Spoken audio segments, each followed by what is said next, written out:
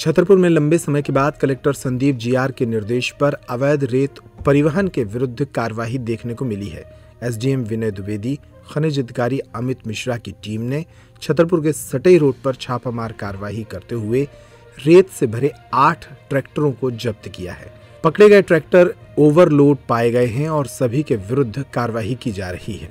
आज उत्खनन परिवहन पर कार्रवाई की गई है सटाई रोड पे। और वहाँ जो वाहन मिले हैं उनको जब्त करके थाना परिसर में रखा गया। किस तरह की कार्रवाई रही है सर? और क्या शिकायतें मिली आठ वाहन यहाँ शिकायतें आ रही थी कि अवैध रेत का अवैध परिवहन और उत्खनन हो रहा है और वहाँ से निकल रहे हैं वाहन तो उस पर कार्रवाई की गई थी।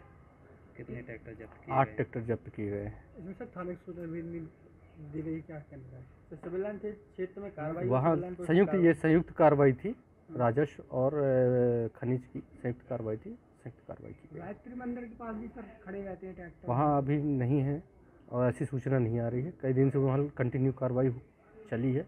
उसके बाद से वहाँ ऐसी सूचना नहीं प्राप्त हो रही। अगर आपके द्वारा बताया जा रहा है संतोष है उसको मैं दिखवाता हूँ।